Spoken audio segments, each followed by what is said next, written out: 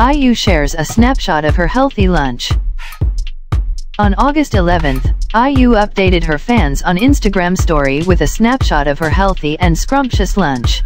Simply writing slur, along with her photo, IU revealed a lunch consisting of a baked acorn squash filled with egg and cheese, as well as a smoothie made up of bananas, avocados, tomatoes, and cabbage. Seeing IU's lunch menu, netizens commented, no way, that's all she eats for one meal, if you eat like that every day, of course you will be skinny, and more. Who else wants to try IU's healthy lunch combo?